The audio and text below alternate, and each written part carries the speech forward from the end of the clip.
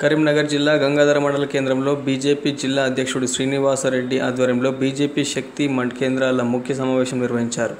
ఈ సమావేశంలో BJP party ప్రవేశపెట్టిన పథకాల గురించి కాంగ్రెస్ టీఆర్ఎస్ పార్టీల అవినీతి గురించి ప్రజలకు తెలియజేసి నియోజకవర్గంలో బీజేపీ సీటు కైవసం చేసుకోవాలని సూచించారు.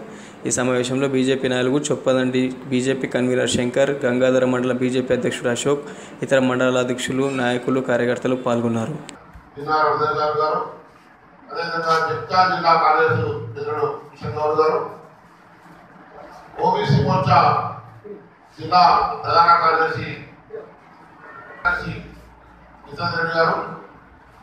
ఈ యొక్క సమావేశంగా రాష్ట్ర ఎంపీ ఆ రోజు ఎలక్షన్ ముందు ఏదైతే మేనిఫెస్టో పెట్టినటువంటి టిఆర్ఎస్ పార్టీ కేంద్ర ప్రభుత్వం ప్రవేశపెట్టినటువంటి పథకాన్ని పూర్తి స్థాయిలో బోధ కమిటీలో మనం చెప్పలేకపోతున్నాం చాలా సందర్భాలు కూడా మనకు తెలంగాణ రాష్ట్రంలో ప్రత్యామ్నాయం ప్రజలందరూ కూడా భారతీయ జనతా పార్టీగా ఉంది కానీ రాష్ట్రం ఏర్పడిన తర్వాత ఐదు సంవత్సరాలు పరిపాలించమని చెప్పి తెలంగాణ ప్రజలు కేసీఆర్ గారి చేతిలో అధికారం పెడితే ఒక సంవత్సరం ముందే వారు అసెంబ్లీని ఏదైతే వారు విధానం చేసినో ప్రజల యొక్క సమయాన్ని మొత్తం కూడా వారు వృధా చేయడం జరిగింది. అసలు ఎక్కడ కూడా కారణం లేదు.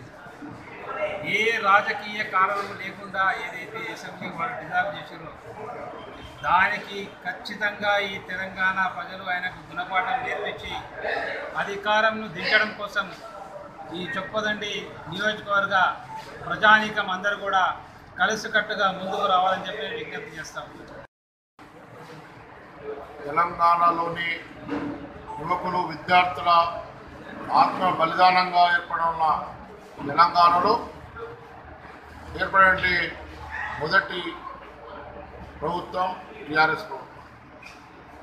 ఎన్నికల ముందు టీఆర్ఎస్ పార్టీ ఇచ్చిన వాగ్దానంలో ప్రధాన హామీలన్నీ కూడా తుమ్ములో దక్కి తెలంగా తెలంగాణ ప్రజల యొక్క ఆకాంక్షకు వ్యతిరేకంగా ఏదైతే తెలంగాణ రాష్ట్ర ఏర్పాటుకు వ్యతిరేకించినటువంటి మజ్లిస్ పార్టీ యొక్క ఏజెండా తన ఏజెండాగా తెలంగాణ ప్రజల యొక్క అభివృద్ధిని దూరంగా పెట్టి కేవలం కేవలం కుటుంబ పాలనతోనే ఏదైతే ఈ నాలుగు సంవత్సరాల మూడు నెలలో కేసీఆర్ గారు ఈ యొక్క రాష్ట్రాన్ని పాలించిన తీరును ప్రజలందరూ గమనిస్తున్నారు.